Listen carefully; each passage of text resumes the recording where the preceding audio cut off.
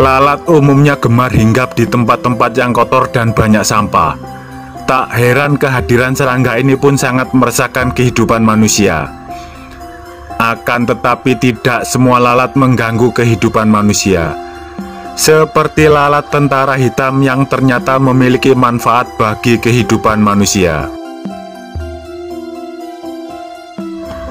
Lalat tentara hitam atau dalam bahasa Inggris Black Soldier Fly ini merupakan jenis lalat dari sekian banyak jenis yang paling bermanfaat bagi manusia.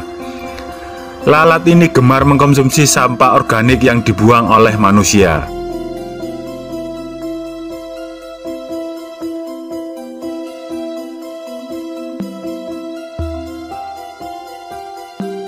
Pemanfaatan lalat jenis ini dapat menjadi salah satu inovasi penanganan dan pengelolaan sampah organik di Indonesia. Larva lalat tentara hitam biasanya dimanfaatkan untuk mengelola sampah organik dan juga untuk bahan pakan ternak. Selain itu, berdasarkan hasil penelitian bahwa lalat tentara hitam dapat mengurai bakteri jahat yang ada di sampah di antaranya Salmonella dan E. coli.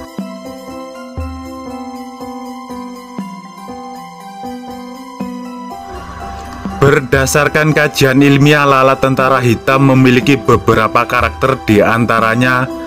Yang pertama, dapat mereduksi sampah organik. Yang kedua, dapat hidup dalam toleransi pH yang cukup tinggi. Yang ketiga, tidak membawa gen penyakit. Yang keempat, mempunyai kandungan protein yang cukup tinggi. Yang kelima, Masa hidup sebagai larva cukup lama, sekitar kurang lebih 4 minggu. Dan yang terakhir, mudah dibudidayakan.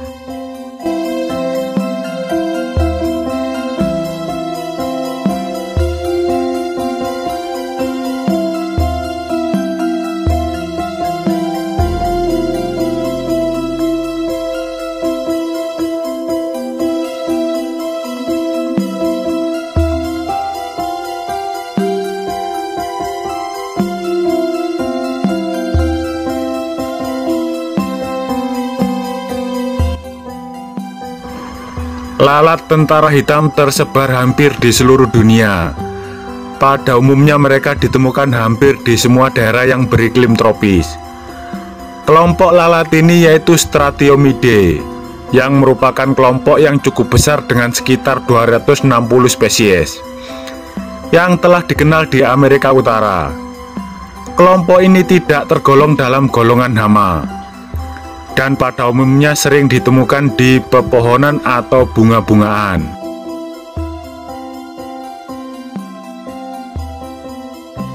Penyebaran lalat ini memang hampir di seluruh wilayah, namun tidak ditemukan pada habitat dan makanan manusia. Sehingga larva lalat tentara hitam atau dikenal dengan belatung atau maggot lebih higienis jika dibandingkan dengan lalat rumah ataupun lalat hijau yang sering kita temui.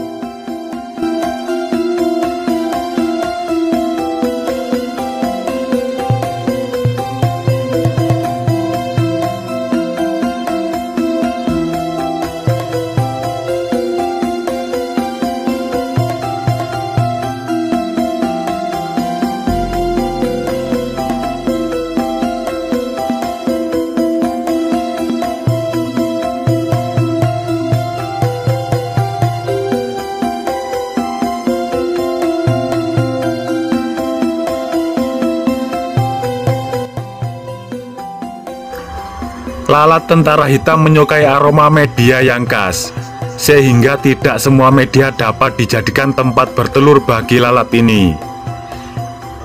Hingga saat ini maggot lalat sejenis ini tidak terdeteksi sebagai penyebab penyakit.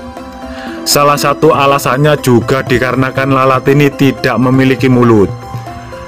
Mereka hanya memiliki alat pengecap untuk memperoleh cairan dari tempat yang lembab berbeda dengan lalat yang lain yang memiliki mulut untuk memakan sampah. Kebiasaan makan sampah inilah yang menyebabkan kebanyakan lalat menjadi sumber penyakit.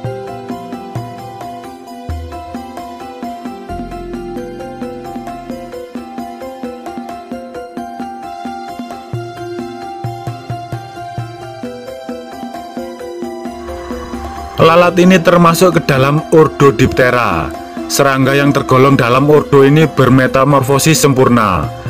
Dalam siklus hidupnya lalat ini mengalami fase telur, larva, pupa, dan imago. Secara morfologi lalat dewasa berukuran besar, tampak seperti lebah, dan hanya membutuhkan air untuk mempertahankan hidupnya.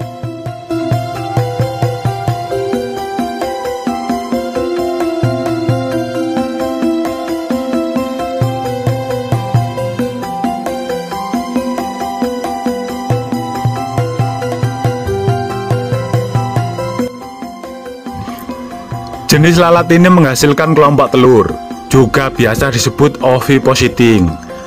Lalat betina meletakkan sekitar 400 hingga 800 telur di dekat bahan organik yang membusuk dan memasukkannya ke dalam rongga yang kecil dan terlindung. Betina tersebut akan mati tidak lama setelah bertelur.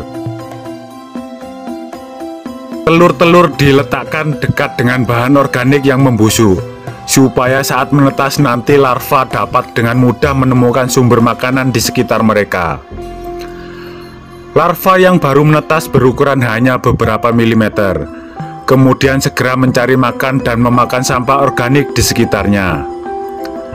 Larva akan memakan bahan organik yang membusuk tersebut dengan rakus, sehingga ukuran tubuhnya yang awalnya hanya beberapa milimeter itu akan bertambah panjangnya menjadi 2,5 cm dan lebarnya 0,5 cm sedangkan warnanya menjadi agak warna krem.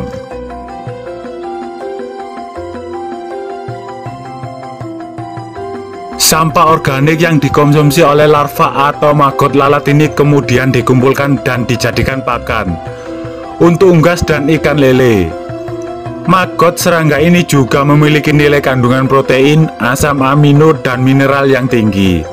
Oleh karenanya cocok menjadi pakan ternak.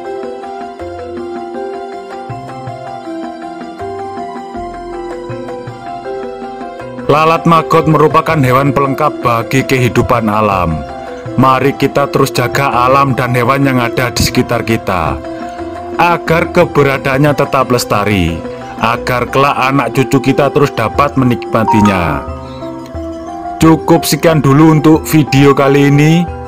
Terima kasih dan matur nuwun.